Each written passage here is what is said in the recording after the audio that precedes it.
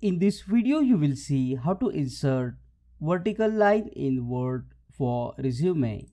You can hold the vertical line and place it anywhere inside the Word document as required. First, to insert vertical line, go to the Insert tab. Under the Shapes, select the option Line. Now press Shift on your keyboard and draw a vertical line using your mouse. By default this is a thin blue line. We will increase its thickness and make it black by clicking on the format shape option. Under the line we will select the color of the line for example let's say red color or a black color and this width is the thickness of the line so we will increase the thickness to let's say 5 points and if you want to make it dashed or a dotted line you can also make it under the dash type.